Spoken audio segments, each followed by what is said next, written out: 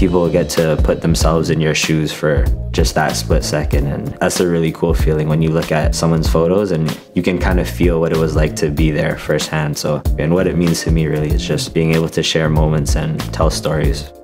I knew I was going to be a photographer when I was about 16 years old. And really quickly into it, like I just knew that that was the thing I wanted to do. I had never like connected with something in the same way that I did with photography.